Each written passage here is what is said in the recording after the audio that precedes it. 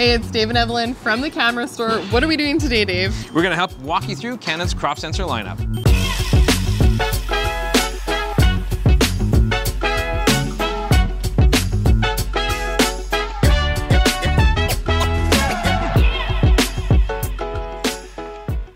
Before we get into it, I just want to give a big shout out to the Calgary Folk Fest who allowed us to come in and test these cameras. We had a great time just capturing some photographs of all the musicians and everything happening at this great festival. It's a visual feast. There's so much stuff Oh, yeah. to take in when you go down there. So with these cameras, how do you make sense of which is the best fit for you?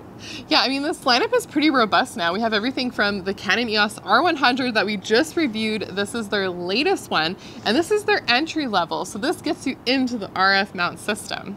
Then we have the R50 and the R10, which are very similar on paper. So we're gonna get into those two. And then on the top of the line, we do have the Canon R7, which is my personal favorite. But we have a lot to talk about with all these cameras. We're gonna talk about the R100 first. This is the most affordable R series camera that you can get on the market, and this really gets you into the RF lens system. I mean, we recently took it to the Calgary Stampede and we had a great time with it. Now, it does have some limitations, but there's a lot to this camera that gets your feet wet if you want to get into photography. Yeah, for example, if you're someone that's just getting into photography, you have a 24 megapixel sensor. You can get some great images. We like the look of the Canon files, and you also have some video flexibility as well. Yeah, what I do like about this camera is that I have the ability to go from full automatic into full manual. So if I'm just getting started in photography, I don't quite understand, this camera makes it very simple to work with, and the menu itself is designed for first-time users. Yeah, when we step into the R50 and the R10, we'll talk a little bit more about some of the limitations with this camera, but I think that this is a good option that Canon has put out there in terms of just being able to get into the system. And if you want to do so at the cheapest price point, it's only $7.99 Canadian for the kit. Next up, we have the Canon EOS R50. Now, this camera is definitely a step up. The first thing that you notice physically is that you have a fully articulating screen, and not only that, it's a touch screen. And I would say that was my biggest thing that I felt like the R100 is missing, is that it's an entry-level camera and it has a lot of basic functionality, but if you're moving from a smartphone, you might feel a little bit more at home having a touch screen, and having that articulation is also great if you're doing content creation, vlogging, selfies. This also has USB-C charging. So I think even just with the articulating screen and USB-C charging, those two features alone would make it worth the upgrade. Yeah, now we step up from there, and it's a very small step to the R10 with so many similar features to the R50. It's crazy the comparison to it. We do get a much improved grip, and in my case, I like that a lot more. Yeah, it's a We- little deeper. Yeah, we still retain the same articulating screen, but we get things like an improved frames per second. If you're shooting sports or any kind of action, that's really nice to have. We step up to 23 frames per second where we're limited to 15 frames per second on the R50, and the R100 we go down even slower to 6.5. Yeah, it's a big difference. And I also like that you have multiple control dials with the R10. I mean, this is becoming a more like manual control camera. I think people that are really stepping up in terms of their knowledge and just being able to have more of that control in a tactile way is very nice on the R10. Now there are a few differences between these cameras. One of them is the ability to connect it to your computer. The R50 you can plug and play and use it as a webcam, just natively. It's fantastic. Where the R10 I do need to use the Canon EOS utility to use it as a webcam. The other thing I want to mention is that my screen is slightly higher resolution. However, on the video side of things, you definitely have the best advantage of the cameras we've talked about so far. Yeah, my camera will go up to 4K 60, which is very nice to work with, but also if I step down to 1080, I can shoot 120 frames per second. Yeah, and there is a crop on there on the 4K 60. However, I can shoot 4K 30 on the R50, unlike the R100, which you were limited if you wanted to shoot 4K, it was with a pretty heavy crop, and that was only at 4K 24 frames per second. And the video footage, I think you kind of step up through the lineup in terms of the quality of it, and of course the flexibility as well. Speaking of stepping up through this whole lineup, we're going to talk about the top end. This is the Canon R7, which is my personal favorite.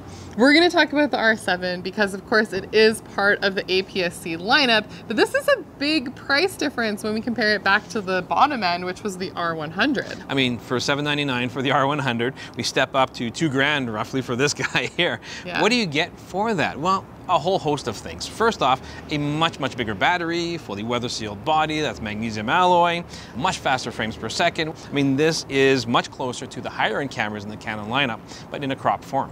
At the core of the Canon EOS R7 is the highest resolution sensor in the bunch. It's 32.5 effective megapixels, and it's also an image stabilized sensor with five axis of image stabilization. It's the fastest scanning sensor of the bunch, which opens up a plethora of video options, and it's just a fast camera overall. You can shoot 30 frames per second, Dave, what else am I missing here? well, things like dual memory card slots, which yeah. we really appreciate with that. Uh, I can't underestimate how important the image stabilization is. I mean, that really helps out get quality photos in very sketchy light conditions and in video. Uh, the stabilization is very effective if you're walking with this camera. Yeah, like you're kind of getting into these professional level features. And so does it justify the price point? I mean, we're talking about a camera with this kit that's about double, if not a bit more, than the R100. 100% agree. I mean, I found with the R100 that it's a great camera to get your feet wet, really kind of figure out, do I like photography at all? But you're quickly going to outgrow that camera. Where I find with the R7, you grow into this camera so much more. So yeah, both can like take photos and video, but this is just gonna give you a lot more options, more creative control, and more of that flexibility for you to grow into. For me, the price is very justifiable. With the feature set of this camera and how they've implemented everything, uh, I can easily recommend this camera and I like working with this. Yeah, it really doesn't hold anything back from some of the even higher end cameras, the full frame lineup. I like that we have the joystick on the back of the camera. We have lots of custom control dials.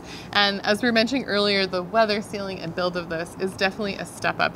And so, you know, with these cameras, we wanted to give you this overview, but this is kind of a monster in comparison to the previous three cameras. When you're holding the R7, it feels like a meaty camera, right? Yeah. With the R100, it's almost like pinkies up. You know, right? it's like pinkies up. You know, it's a very tiny little camera, but it's that's part of the that's part of the allure of this camera is that Definitely. I can take it with me everywhere, and this is like a fantastic family camera. Yeah, I think where the, the tougher decisions lies is in that middle zone.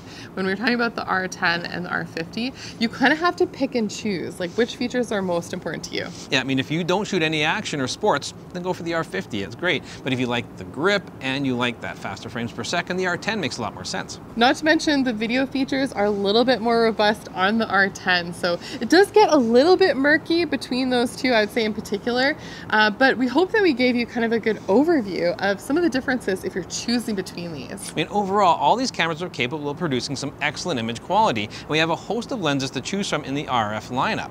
Yeah, depending on what you're willing and able to invest in camera, I mean, the R100 still is a nice solid option to get you into the system. But if you want to spend a little bit more upgrading throughout the lineup, definitely has its advantages. Overall, all these cameras are capable of some really good image quality. The real question is what level of performance that you need for your style of photography. The R100 is an excellent camera for entry-level users. And if you are more of a content creator and you want to step up your game, the R50 or the R10 certainly come into play. Yeah, and then of course we have that R7, which is the top of the line. You're getting a lot of robust features that we find in a lot of the professional level Canon cameras. But of course we want to know, what do you guys think? What are you leaning towards? What camera is really speaking to you? Where do you think you're seeing the most value? Let us know in the comments below. Make sure you follow us both on Instagram. And if you're new to our channel, please subscribe, hit the notification bell, and we'll catch you again very soon.